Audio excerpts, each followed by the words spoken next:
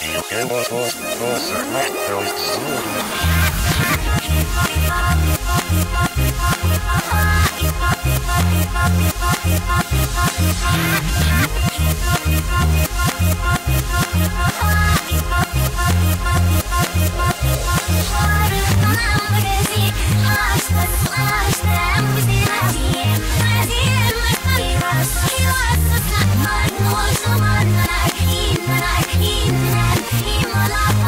Back in love.